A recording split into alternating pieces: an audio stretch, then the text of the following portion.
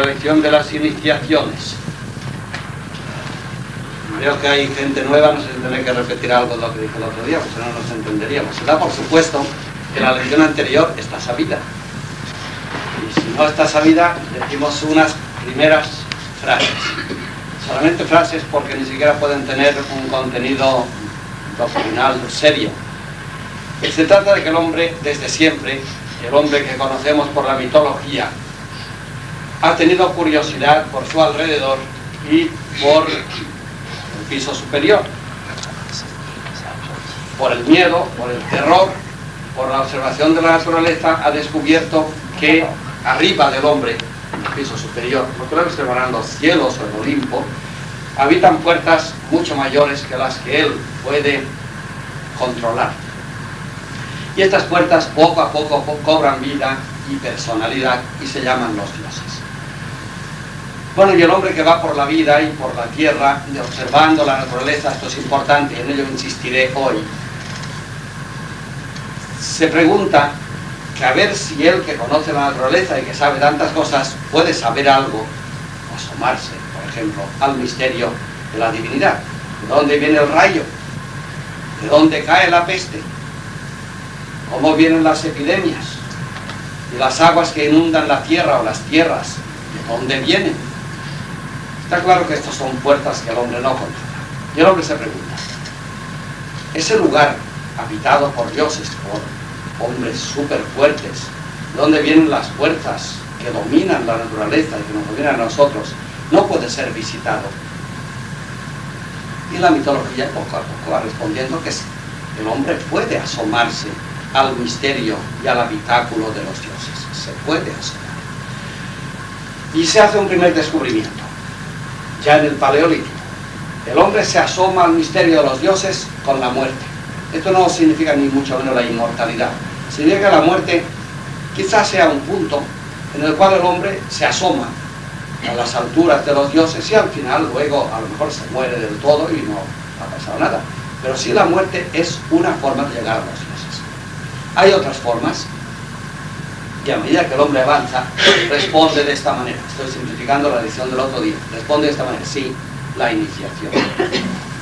El hombre puede ser iniciado puede ser conducido al descubrimiento de los caminos secretos que llevan hasta la habitación de los dioses. Por eso pintábamos el otro día la situación como dual y que decíamos que como método esto funciona, el hombre está abajo, está aquí, y está envuelto por una naturaleza y por un mundo que se llama el cosmos, y este cosmos del hombre es el que condiciona al hombre y el que el hombre domina en el que el hombre vierte sus fuerzas y las recibe a la vez, evidentemente, del cosmos. Pero sin embargo, de no sabe dónde, llegan unas fuerzas mucho mayores que interfieren en su situación. Y poco a poco el hombre coloca arriba de sí, por tanto habrá abajo y arriba la naturaleza y la sobrenaturaleza, un lugar donde están los dioses. El hombre se pregunta, como es curioso por naturaleza, el hombre dice, pero no se puede taladrar y pasar por aquí. No hay un camino que lleve hasta aquí. La primera respuesta es que sí, la muerte. Pero como el hombre se conforma con la muerte, además los muertos no hablan ni vienen a decirnos qué ha pasado, el hombre sigue preguntándose. Y además de la muerte, el hombre puede practicar un agujero y asomarse por lo menos una vez a ver qué es lo que pasa con los dioses o incluso a dominarlos. La magia tiende no solo a asomarse, sino a hacer propicios a los dioses, de forma que Dios no actúe contra el hombre. El hombre se puede asomar y se responde con la palabra la iniciación. Iniciar. Es decir, que por propia naturaleza, por su propia fuerza, el hombre no tiene una escalera por la cual pueda encaramarse y asomarse al misterio de la divinidad, de los dioses poderosos que viven y reinan allá arriba en el hombre. Pero sin embargo, digo que ya en el en el neolítico, el hombre va descubriendo que sí, que hay formas de, de asomarse ahí. Formas, y además que estas formas son impartidas por personas. En antropología mitológica, esto se llama el chamán.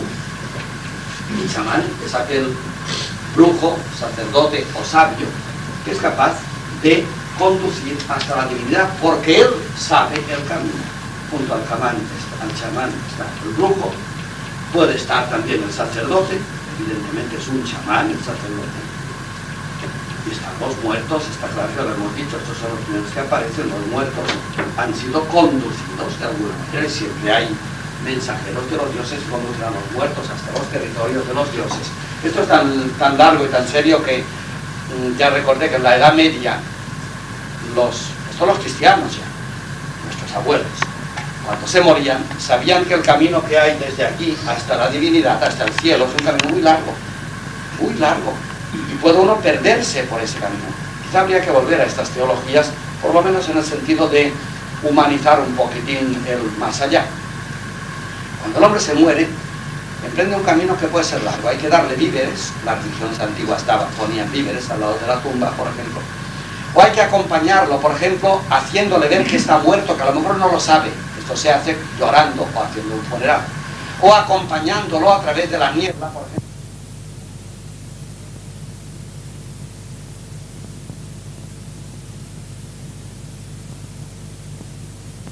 O pompos, el que acompaña a las almas. Es decir, que este camino es difícil. Si tú te mueres y te quedas solo, te pueden morir de frío por aquí. El camino es difícil de encontrar. Has de llevar víveres y a llevar un guía. San Miguel, en nuestro caso. Bueno, pues esto es tremendamente antiguo, porque resulta que los muertos mismos, que son los que se toman ahí, tienen dificultades. Fíjate en vida lo que sea. Bueno, pues en vida no queda más remedio que ponerse en manos de alguna asociación o algún iniciado, maestro, un brujo, un chamán, un sacerdote, que te conduzca. Es curioso que todavía los muertos quieren ser acompañados por sacerdotes, ¿no? Ustedes se han fijado en la prensa de nuestros días. Toda la gente, la que tú conoces y la que no conoces, muere habiendo recibido los santos sacramentos. ¿Tú qué lo sabes? El 50% no, pero se pone en la esquela, no sea que le haga falta. Ya está, el guía.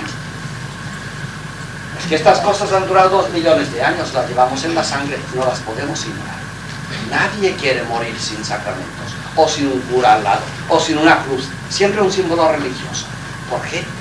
Hombre, porque no, en el fondo late esta realidad. Es que cuando uno muere, entra en un territorio privativo de los dioses, que llamamos la religión, el territorio religioso, y para ello necesitas estar bien con los dioses, o tener un guía que te guíe.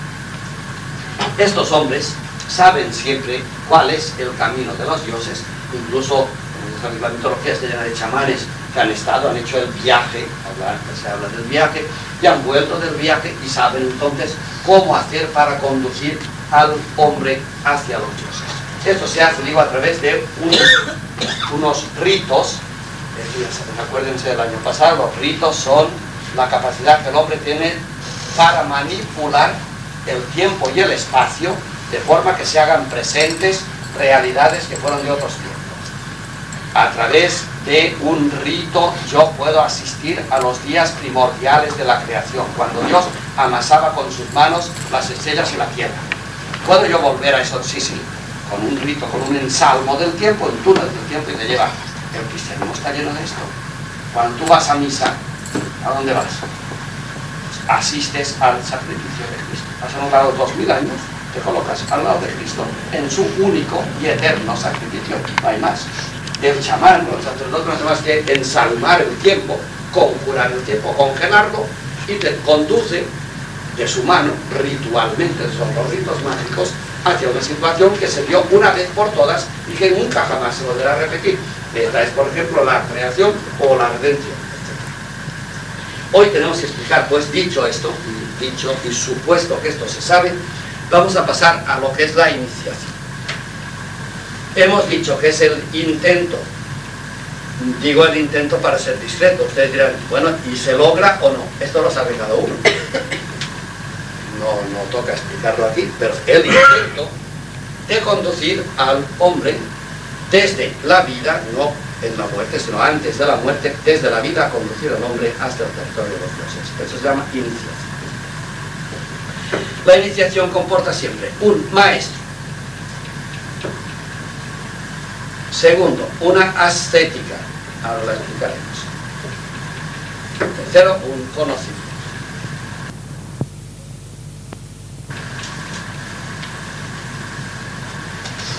Esta terminología es otra vez de Eliade, el maestro es el didáscalos, suelen usar siempre la terminología griega, didáscalos, la estética es asquetique o dominio de sí mismo, me porque estoy sudando y eh, Ascética significa dominio de sí mismo y conocimiento significa iluminación de la mente. Es fundamental que las tres cosas se den juntas, porque si no, no funciona. Sin un maestro no, se, no puede haber iniciación. Repito, iniciación significa que te enseñan el camino para entrar en contacto con la divinidad. Para aquellos que practican el cristianismo, que recordar que el cristianismo está empapado de estas ideas. ¿Quieres encontrarte con Dios? Pues un cura te lleva, te dice una misa y ya estás en contacto con Dios. A través de un sacramento, que es un rito también. Son iniciaciones. Y el bautismo, desde luego, vamos a explicar algún día seriamente, fue durante tres siglos, porque un constantiniano, un rito de iniciación el cristiano largamente, en algún catecumenado de dos o tres años, era iniciado en los misterios cristianos, lo cual le capacitaba para ser conducido hasta la presencia de Dios y asistir a la realización de su un didáscalo, una ascética y una gnosis.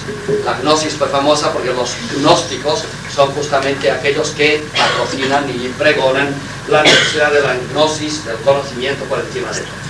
Un maestro, ya está explicado. El maestro ha de tener, lo primero, experiencia propia. Un chamán que no ha visto nunca a Dios no es nunca chamán. Nunca. Eh, verá a Dios, hay mil maneras de ser chamán. Puede ser una experiencia especial, una experiencia de Dios que llamamos hoy. Pues, un éxtasis, una visión. Jaspers decía que todos los locos parece que son gente que se han asomado a la otra parte han sufrido tal confusión de cables que al venir vienen tocados. Los locos serían pues gente iniciada, en realidad. El sacerdote, el chamán, sí es un iniciado, porque, porque ha tenido experiencia de Dios. Puede ser un muerto resucitado, un ser reencarnado, evidentemente. Puede ser un hombre con una larga experiencia. Puede ser un hombre que conozca los secretos de ciertas hierbas para provocar la hipnosis o la borrachera son formas de iniciación. No hay que... Quizá eh, la, famosa droga de hoy, el SD, todo eso, son sustitutos que ahora nos vienen de, antigüedades remotísimas. El hombre cansado de la vida de cada día, la juventud aburrida, pues intenta una iniciación, posiblemente por vías equivocadas, está claro, pero que la hipnosis, que la droga, que pues la manipulación de las hierbas, de los brujos, que son chamanes, te pone en un estado de trance en el cual tú experimentas cosas, objetiva o subjetivamente, experimentas cosas que están más allá de las normales y naturales experiencias, esto es un dato que conocen todas las religiones Una vez que el hombre ha tocado a Dios o ha visto a Dios, puede constituirse en maestro. Los romanos a estos maestros le llamaban una palabra hermosísima. Estos hombres saben el camino que va de aquí allá, o sea, tienden el puente entre lo natural y lo sobrenatural. Son pontífices. Pontífices, significa creador de puente. Así los pontífices, el Papa Pablo II. Esto quiere decir que nos construye el puente, o lo destruye, nos construye el puente para que por él podamos saltar entre el río que nos divide, esta línea, de lo natural a lo sobrenatural, del hombre a los dioses. O sea que el chamán en ciertas religiones, en la religión romana, precristiana, la palabra es romana, se llama pontifex, el pontero, que hace el pontero. Una vez que tiene maestro con experiencia, el maestro siempre impone una estética. Esto sí que es importante saberlo porque hoy lo hemos perdido de vista. Si tú quieres llegar a una experiencia, a un conocimiento de la divinidad, a una gnosis, es indispensable una ascética. Aquel hombre que se dedica a ir por la vida, según las cosas solicitan o rechazan, y responder a ellas según solicitan o rechazan. Es decir, el hombre que va por la vida, haciendo de su voluntad ley, o de su placer, norma de comportamiento, jamás traspasará la línea que une, que une no, que corta el cielo y la tierra. Importante, ¿verdad? Deberíamos saberlo bastante más. Esto es siempre anterior a una gnosis. Aquel hombre que hace siempre su voluntad y dice que conoce a Dios, no sabe de qué habla nunca, en ninguna religión de la tierra, más que en la cristiana cuando ha perdido los papeles. Jamás. O sea que si un, un chamán se dedicara a hacer siempre su capricho, dejaría de ser chamán. Y por tanto un sacerdote que hace siempre lo que le place, no puede conducir a otros, no puede iniciar. Porque un iniciado ha de empezar siempre por la etapa de la ascética, del dominio de sí. Del dominio de sí. Los griegos, como ustedes saben, los, los órficos eran durísimos. Y ahí entra toda la teoría del sacrificio, hasta la muerte incluso, del sacrificio. El hombre que no es capaz de dominar su capricho, o incluso de disciplinarse, o incluso de ayunar, pasar hambre, no será nunca un iniciado. Es decir, no conocerá nunca el camino que une al hombre con Dios. Posiblemente esto tiene más verdad de la que, de la que parece en principio, de la que han dicho tanto tiempo las religiones de la tierra. El hombre que hace siempre su voluntad, que es un caprichoso y se permite todo lo que el cuerpo y el alma, aquí no hay que ser, no hay que ser platónicos, los poco iniciados creen que el cuerpo es el animal y el alma es lo espiritual. El cuerpo y el alma son ambos criaturas que se están haciendo. La ira no es del cuerpo, es del alma. El orgullo no es del cuerpo, es del alma. Eso es espiritual y es malo. Así que el hombre que hace o en su cuerpo o en su alma, en los dos, siempre su voluntad, nunca conocerá la unión con Dios. Nunca conocerá el camino que conduce a la divinidad. Esto quiere decir que para conocer a Dios se impone un dominio de sí. Por esto, ustedes han visto que cito el cristianismo porque es la religión más moderna y además la que a conocemos más. Ustedes han oído hablar que, por eso lo habrán contado, que en la antigüedad cristiana, cuando alguien se tenía que bautizar, la Didache, que es un libro de oro, al final es del primer siglo, la, doctrina de los doce apóstoles, dice que el día que se bautizar, el bautizando y el bautizador ayunarán tres días. ¿Y eso para qué? Hombre, para que puedan agujerear arriba. Si no, a ese niño le van a tirar agua y le, van, le lavan la cabeza no pasa nada más. Cosa que uno sospecha que sucede hoy en día. Bautizamos a mucha gente y no, no la iniciamos a nada. El ayuno es indispensable. Si el que bautiza y el que se bautiza no ayunan, ayunar es una reducción, una abreviación del código que dice hay que dominarse. Para otro ayunar será, pues, yo que sé, aguantar a los niños tres días sin enfadarse. Para otro será darle 100 pesetas a un pobre. Y para otro será, pues, yo que sé, no ver televisión en siete días. Cosa es que tú tengas un capricho y digas, hay que ahogarlo, porque esto me conduce a encontrar a Dios. Hay que ayunar antes de bautizarse. Antes de comulgar, había que ayunar. Hasta pocos días había que ayunar, etc. El sacrificio, el dominio de sí, la ascesis, la capacidad de decir esto no se hace, esto abre caminos, digamos que perfora, taladra la lona que nos separa de lo divino, según las mitologías que estamos explicando. El cristianismo diría otras cosas que ahora no nos interesan.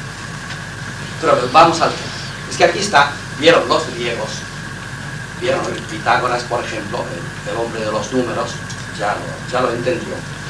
Vieron los griegos que aquí está una terrible y estupenda realidad del hombre y es que el hecho de que el hombre llegue a descubrir a Dios a través del dominio de sí, esto significa que el hombre necesita purificarse para encontrarse con Dios. Es decir, el hombre que dice, yo antes de ir a Dios he de lavarme, bautismo. Yo antes de hacer tal rito he de ayunar, antes de comulgar, antes de recibir a Dios, está entendiendo que hay cosas que no funcionan. Es decir, que el camino que conduce a Dios, hacia Dios empieza por reconocer que el hombre no es un ser perfecto. Eso es fundamental. Pongámoslo al revés. El hombre que cree que él es perfecto y que lo que él hace es lo mejor. Y que cuando tiene ganas de comer, ha de comer. Cuando tiene ganas de dormir, ha de dormir. Cuando tiene ganas de dar una bofetada, ha de dar una bofetada.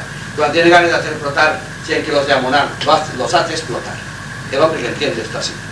Este hombre es, está contento es el centro de sí mismo. Esto nunca llegará más allá de sí. No O sea que la tesis es perfecta. Para que el hombre busque a Dios, ha de suponerse que el hombre no tiene a Dios, que el hombre no es Dios. Y entonces esto se, se traduce de forma práctica diciendo, claro, es que yo no soy Dios y por tanto tengo cosas que no son buenas, es decir, que no son mías. Cuando pegas sin necesidad o sin razón, estás equivocándote. Cuando gritas sin razón, te equivocas. Cuando matas sin razón, casi siempre lo es, te equivocas. Cuando...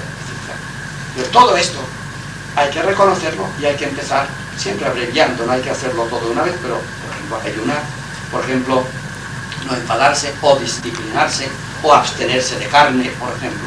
Todo esto son ascéticas que al hacer ver al hombre que él no es perfecto, que él no es norma de vida para sí mismo, le lanzan hacia adelante.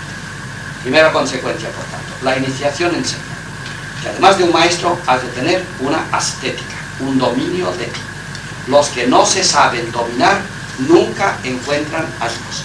¿Y por qué no encuentran a Dios? Porque el hombre que se domina es el hombre que reconoce que él no es el Dios de sí mismo, sino que al ser imperfecto está buscando a Dios más allá de sí mismo. Por eso es necesaria la ascética. Y cuando un hombre se domina a sí mismo, nace en él el conocimiento, la gnosis. Por eso dirá Pitágoras todos los sabios o no lo son, o son dueños de sí mismos. Habría que hacer lista de sabios incluso hoy en día. El sabio, que dice que es sabio, o no lo es, o es, antes que sabio, dueño de sí mismo. La ciencia, el saber, no se da a los hombres que tienen su propia vida enturbiada con sus propios caprichos. A eso no se les da el saber. Por tanto, un hombre que no se domina a sí mismo nunca es un sabio. Con lo cual juntaban los griegos el saber y el dominio de sí. Pero estaba bien, porque ¿qué es el saber? Si tienes un buen guía, ya ven que esto se complica un poco, ¿verdad? Vamos a buscarnos un buen guía y después además a lo mejor durante 50 años nos damos una buena paliza cada día, una buena disciplina, o un buen ayuno, o nos aguantamos el mal genio. Y al final se te da el conocimiento. ¿El conocimiento de qué? De que dos y dos son cuatro. Pitágoras diría que sí, porque los números son el ser de las cosas. Pero eso lo dejamos. ¿Qué conocimiento? Bueno, pues conocer el secreto de las cosas. ¿Cuál es el secreto de las cosas? Y hay que hacer una pregunta anterior que el año pasado ya tocábamos un poco. ¿O es que las cosas tienen secreto?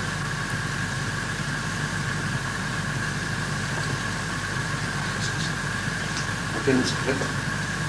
Tú coges una manzana, abres una manzana, te comes una manzana y es una manzana que secreto tiene. Manzana.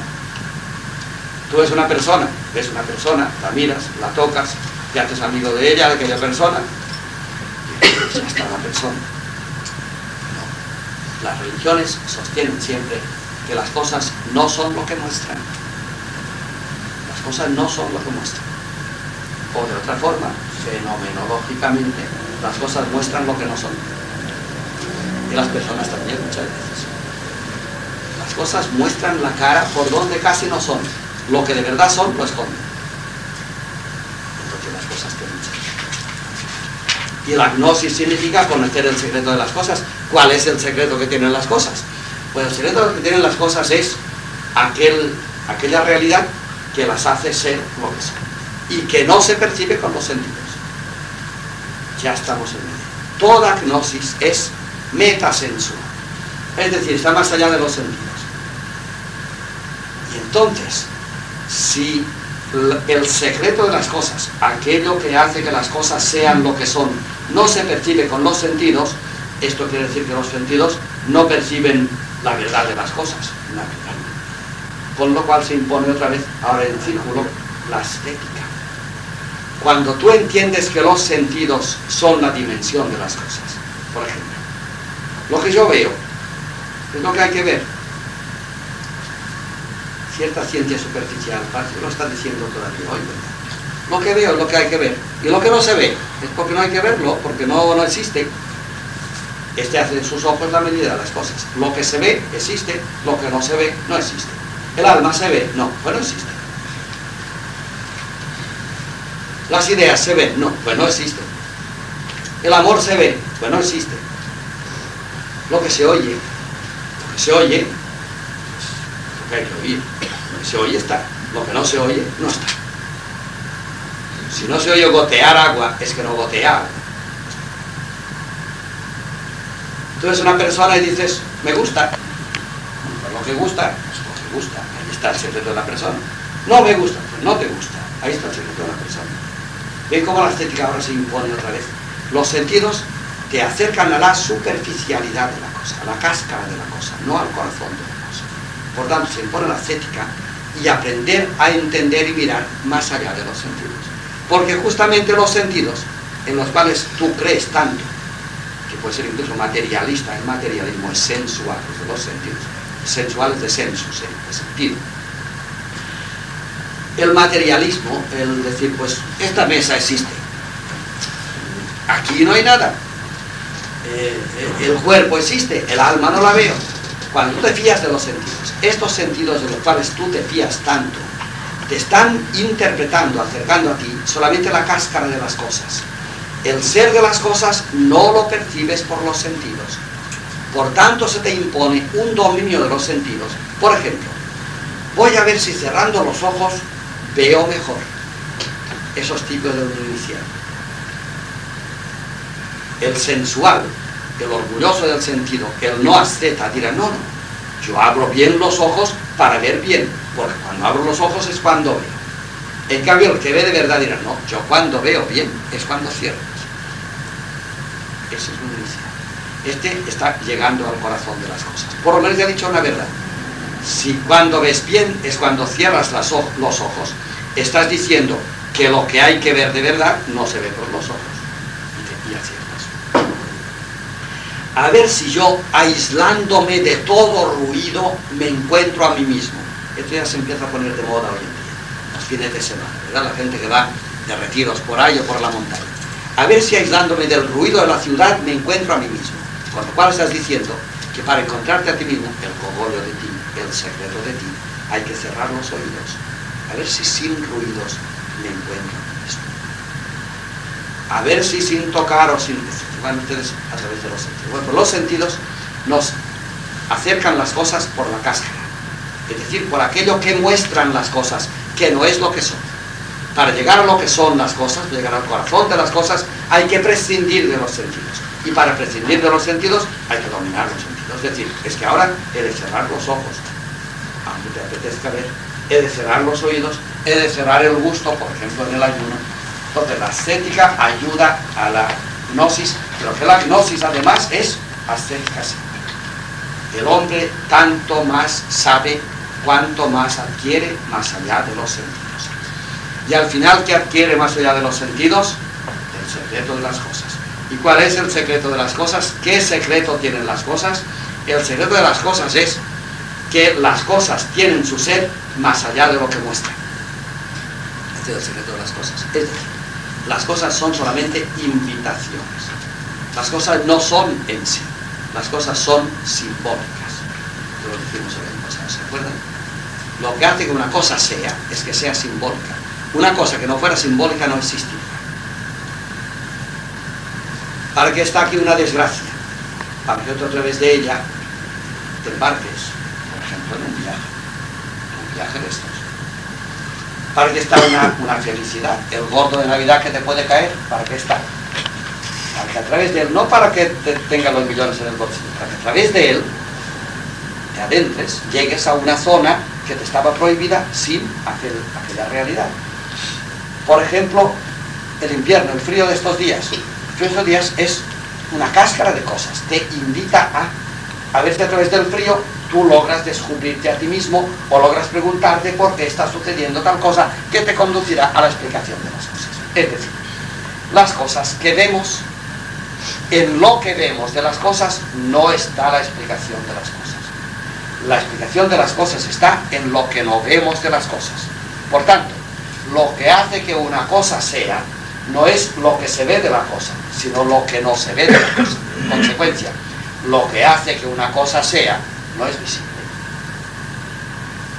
Y entonces, ¿cómo se llega a lo que hace que una cosa sea? Que es invisible.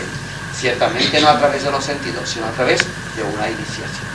Todo lo que estamos diciendo últimamente en la segunda parte es pura iniciación, evidentemente.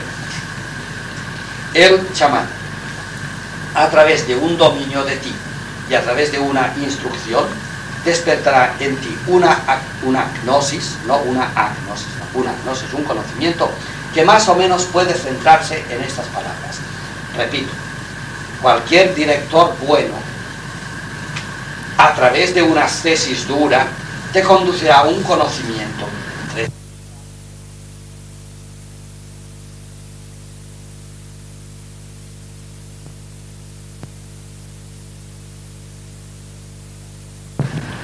Y por esto, cuanto más nos acerquemos a lo que no vemos del mundo y nos aislemos de la cosa exterior, que es la cáscara, más nos acercaremos a la realidad de la cosa. Es una hipnosis, una iniciación. Sin iniciación, el hombre dice, esto es un pino, y basta. Esto es una manzana, y basta. Y esto es un hombre de 80 kilos, y basta. Esto es un no iniciado. Ahora, cuando tú seas capaz de decir, aquí tengo al lado un hombre de 80 kilos, y encima me es simpático, ¿para qué será? Ahora te inicias. Ese para qué será es de iniciar. La capacidad de preguntar. Cuando vas y ves un avión que vuela, dices, un avión que vuela. Y por esto, cuanto más nos acerquemos a lo que no vemos del mundo y nos aislemos de la cosa exterior, que es la cáscara, más nos acercaremos a la realidad de la cosa. Una hipnosis, una iniciación. Sin iniciación, el hombre dice, esto es un pino, y basta. Esto es una manzana, y basta. Y esto es un hombre de 80 kilos, y basta. Esto es un no iniciado. Ahora, cuando tú seas capaz de decir, aquí tengo al lado un hombre de 80 kilos, y encima me simpático, ¿para qué será? Ahora te inicias. Ese para qué será es de iniciar. La capacidad de preguntar. Cuando vas y ves un avión que vuela, dices, un avión que vuela. No eres iniciado. Pero cuando eres capaz de preguntar, ¿por qué volará el avión? Ahora te vas camino de iniciación. Claro, te dará una explicación que otra vez será una cosa. Y dirás, bueno, vuela porque el aire por encima de las alas corre más que por el de las alas. Sí, pero ¿y, y por qué cuando el, ala por encima, o el aire por encima del ala corre más, eh, eh, se vuela? Otra pregunta. Y, la, te pregunto, esto lleva a la iniciación. Una pregunta que desencadena otra pregunta y otra pregunta. Saber es preguntar. Con ello hemos terminado la clase. Saber es preguntar. Y ustedes ya saben que saber preguntar es muy difícil. Muy difícil. Preguntando uno se delata, más que hablando. Cuidado que hablando ya se delata uno mucho, ¿no? sobre todo si es ignorante. Pero cuando uno pregunta, si no tiene cuidado, está diciendo que no ha entendido nada, por ejemplo, que no sabe por dónde se anda. Saber es preguntar. Demos la vuelta, digo que hemos terminado ya. O sea, que saber es preguntar. ¿Qué significa esto? Saber significa saber que las cosas tienen razones que no entendemos. Saber es preguntar. Saber significa saber. Pero saber qué? Saber que no sabemos. Saber que lo que se debe saber no lo sabemos. Hemos de preguntar. Por tanto, empezamos por lo mismo. Este hombrecino de hace dos millones de años se dijo, por allá arriba hay gente que se mueve, yo oigo ruido, el rayo, la lluvia, hay gente que se mueve. ¿Cómo se va? Esa es la pregunta de la eterna pregunta de la ¿Cómo se va? La respuesta no nos interesa, interesa preguntar. Bueno, pues iniciación es la capacidad de preguntar. El hombre que lo sabe todo, como el occidental del siglo XX, está muriéndose, es un moribundo. El hombre vive cuando sabe que no sabe. Entonces, cuando pregunta. El que no pregunta, el que no se maravilla de nada, este es un hombre sensual. Va por la cáscara y se ha creído que la cáscara es lo que hay que saber. Es el ser de las cosas. Se cree que la cáscara es lo que El hombre que sabe, sabe que el corazón no es la cáscara. Y como él solamente ve la cáscara, pregunta por el corazón. Saber es.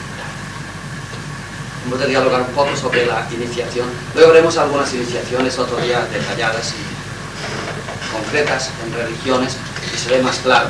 Pero hay que tener cuidado porque cada religión luego tiene sus formas de iniciación y el cristianismo tiene el bautismo y uno se puede preguntar, bueno, pero vamos a ver, cuando un hombre se hace cristiano, le hacen la catequesis, lo preparan para el bautismo y luego lo bautizan, le hacen una iniciación.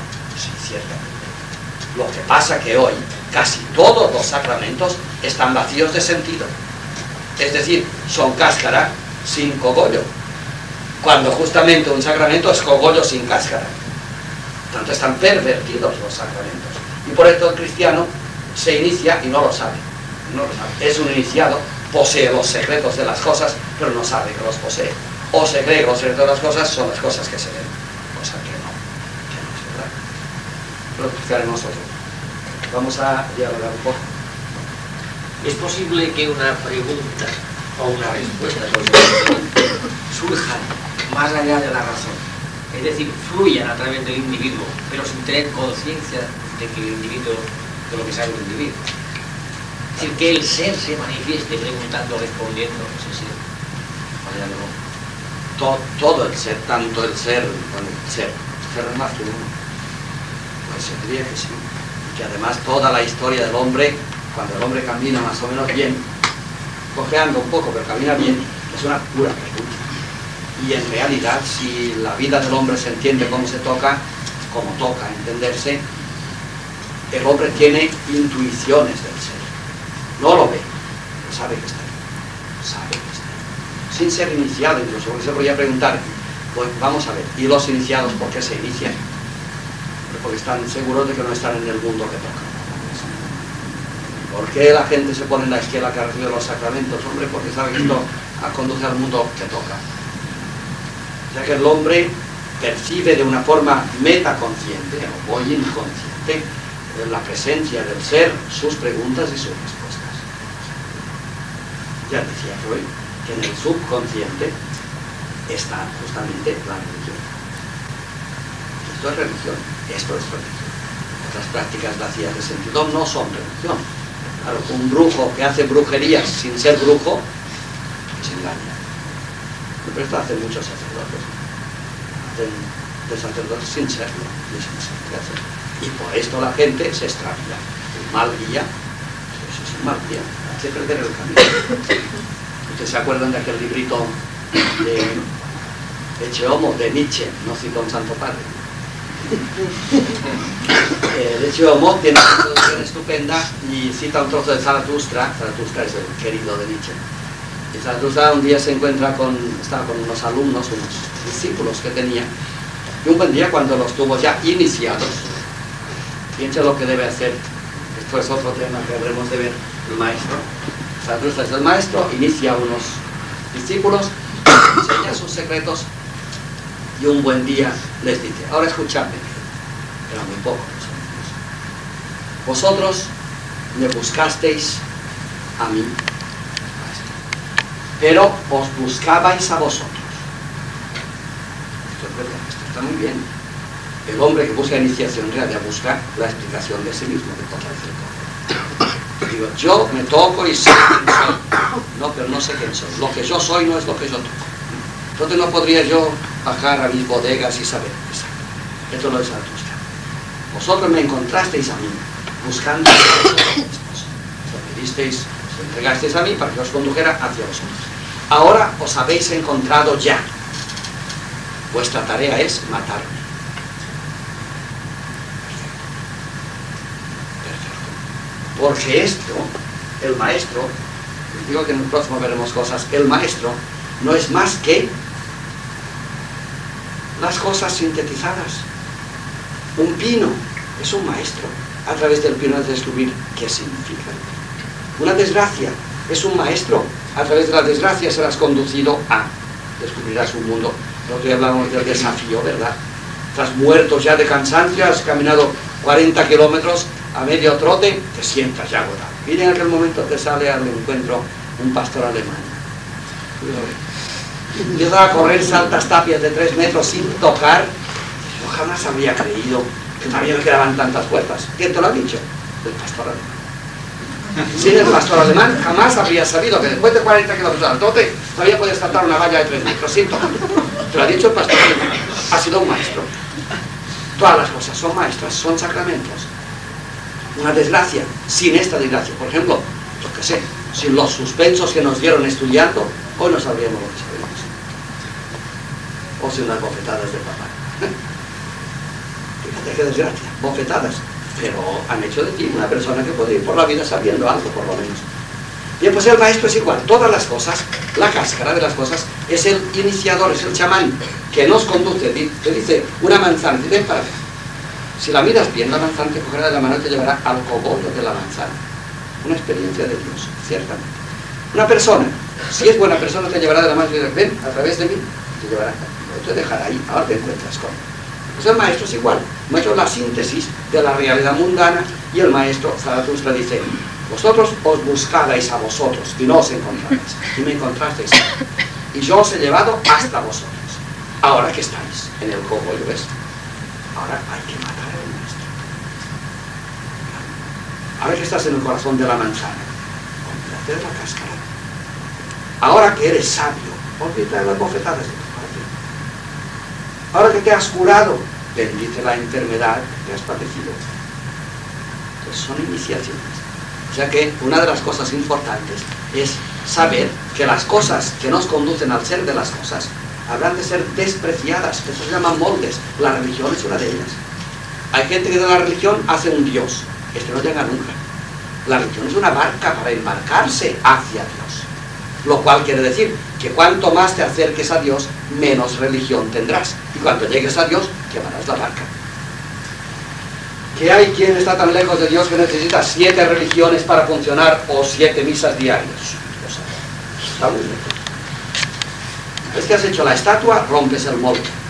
La religión, toda esa religión, es un molde que hay que romper cuando llegas. Y que no llegas si no rompes. No llegarás a ti si no matas al maestro. Si mamas del maestro, llegarás, toda la vida mamando, no llegarás nunca a ti. Hay que matar al maestro. Hay que matar la religión para encontrar a Dios. Por lo tanto, los creyentes fanáticos que se aferran de la religión nunca encuentran a Dios.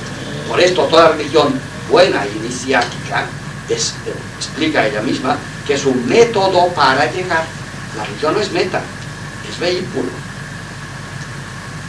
Esto ya demasiada respuesta. Vemos otro día.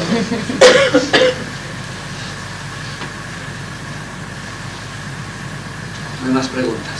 A veces se comenta mm, que la sociedad actual se va alejando de las religiones en uso en el momento.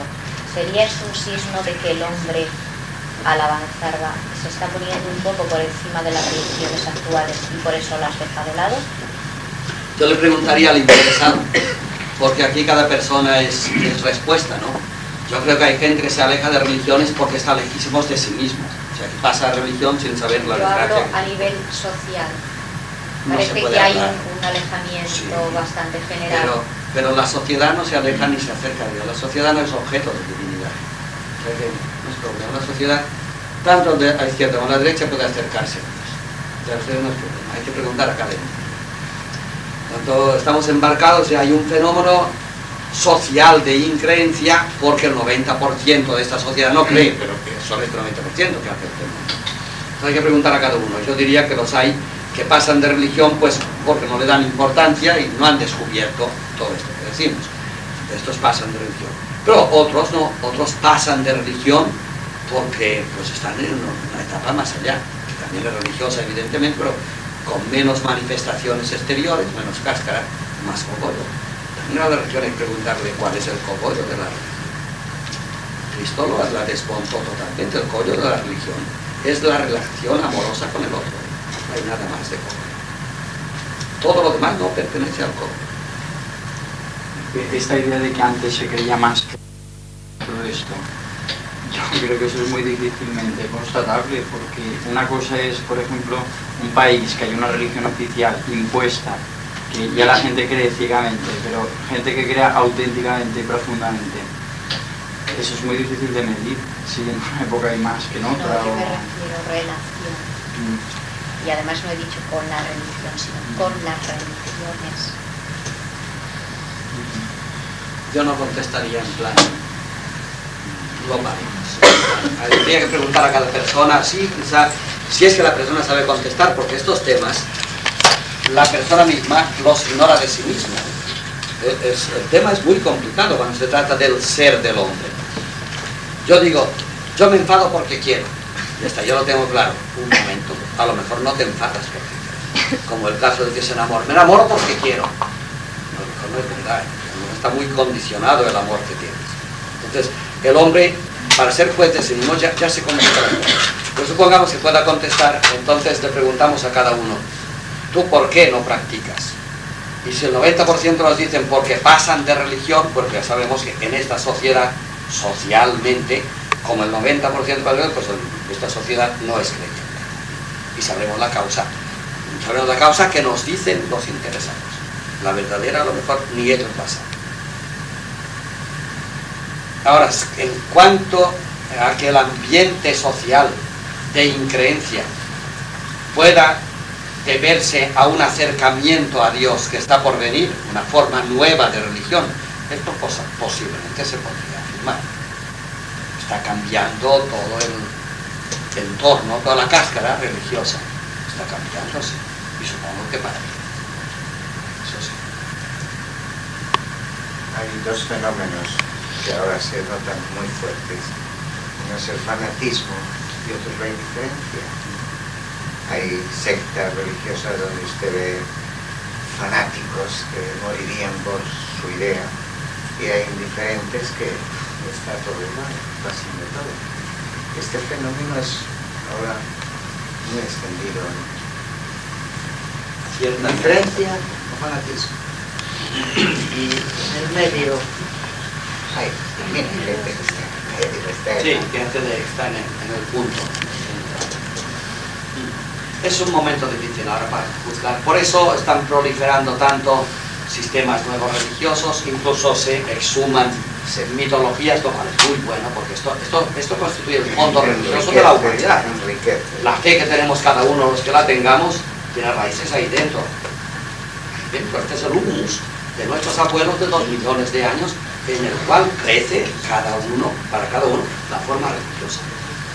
Pero siempre volvemos a lo que usted dice. El individuo tiene que El tema de religión es individual, es personal. es personal, cada uno. El secreto de la manzana, el misterio de la manzana, ¿coincide o tiene algo que ver o es igual que el misterio del hombre, por ejemplo? Sí. El secreto En la el fondo sí, porque es el ser. Lo que pasa es que luego esto ya es mucha filosofía para explicar ciertamente. Evidentemente, esta manzana que voy a comer no ha llegado tontamente a mis manos. Puede tiene un secreto, no solamente alimentarme, que ya es, ¿ves? Supongo que esta manzana ha sido fabricada para alimentarme. Bueno, pues ya, ya la manzana en sí ya no me lo dice, me la tengo que comer yo para que llegue a su meta la manzana. Bueno, ¿y alimentarme qué? Bueno, pues alimentarme posiblemente, yo que sé, lo que mañana yo sentiré. Que a lo mejor no hubiese sentido sin la manzana. Pero es que ese sentimiento mío que yo debo a la manzana y que mañana exteriorizaré a mi hermano, hará que mi hermano... Todo eso es la manzana. No termina. Todo está encadenado. No termina jamás. No es inútil, cuántas veces lo hemos dicho en mitología, no es inútil que mi madre me concibiera a mí en primavera. Tiene un sentido, ya, esto ya está dentro de mí. O sea que el tiempo, a- para un secreto al terminar. Y por tanto, no es insignificante que el calor viniera en mi madre cuando yo tenía tres meses, en vez de venir el frío. Soy concebido en octubre, el frío, yo hubiese dado frío a los tres meses, hubiera sentido más frío. Que todo eso ha quedado inscrito en mí. Pero todas las cosas tienen un ser que interfiere entre sí y que hace que la otra sea lo que no sería sin la primera. La tercera sin la segunda la primera, etc. Hay unos alimentos que si yo no los como, enfermaré. Pero no sé cuáles. De no vienen así. Todo es un secreto de las cosas que se llama una, antiguamente decían una determinación o determinismo. No, no es determinismo, pero las cosas vienen como deben venir. El mundo está ordenado, decían los griegos, es un cosmos ordenado. No hay azar, es necesidad. Sí, pero hay que entenderlo bien, porque la necesidad dicta determinismo. Y no es verdad, porque el determinismo supone también, en, el, en la fórmula, si usted me pone determinismo, A más B igual C. Si el determinismo es C, es A más B, pero en la B hay que destruirla otra vez. B sub 1 y B sub 2. Y el B sub 1 es la libertad humana. En la fórmula del determinismo interviene la libertad. Entonces sí que determinismo significa unas causas naturales, ponderables todas, en las cuales el hombre es un puro paciente. No, eso no es verdad. La libertad humana es uno de los ingredientes de la fórmula del determinismo. Entonces sí, todo está determinado. Entonces todo está determinado indeterminadamente porque la libertad se determina libremente.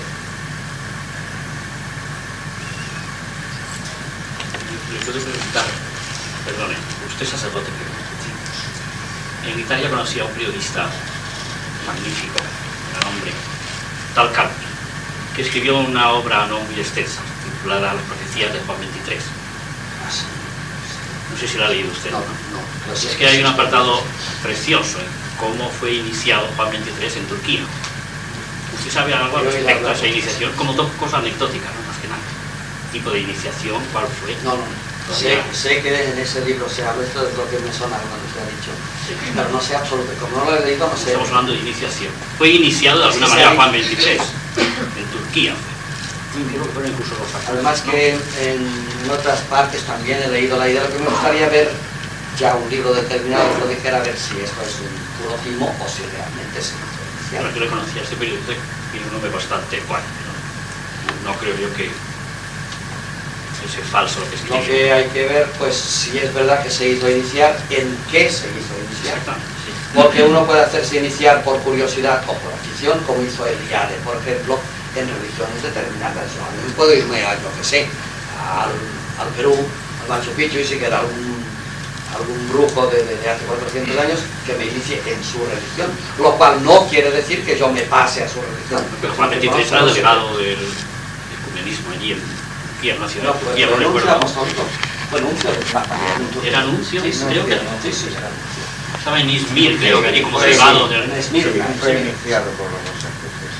Ah, Sí. por los. Ya, Esa, historia, esa anécdota quisiera conocerla profundamente, cosa que no... Yo tampoco la conozco más que de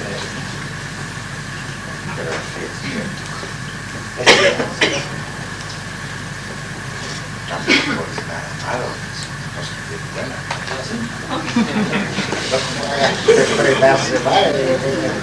Maravilloso. Bueno, vamos a descansar. Muchas gracias por su atención.